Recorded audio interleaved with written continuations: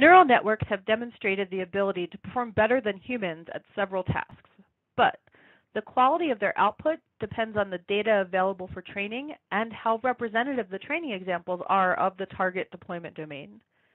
If the domain shifts from the training domain when deploying, neural networks notoriously fail to deliver high quality results. Our proposed method leverages uncertainty quantification of the neural network predictions to directly identify this domain shift as well as actively correct the neural network predictions without retraining. Visit our poster to learn how we propose to do it.